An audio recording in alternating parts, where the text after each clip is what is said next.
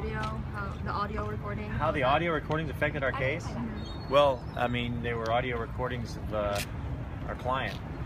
So, um, if the jury discards them as uh, evidence of guilt, obviously, they still have to look at whether there was supposed to be just a small fire or there was supposed to be this explosion. I don't think it uh, changes that, in at least in the evidence part. Talk about the uh, effort to impeach the witness as far as showing, you know, he said, I didn't give away the medication.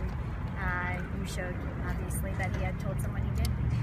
Well, the, the point is, is that uh, he's a professional. He fed him medications, and he worked him, and he uh, wrote the letter himself, as he testified to, and, and we believe that's the only reason this happened is because Smith wanted to get out, and he wanted to get money, and I guess he wanted to be a star on a sitcom. But then nobody made your client make that telephone call.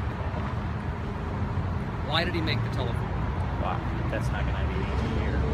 What does that mean to your case? You had fought to keep that out. What's that? The evidence that. Well, because we thought the evidence shouldn't have come in because it was obtained in, in violation of the Constitution, and so we still maintain that. You guys have a good Fourth of July.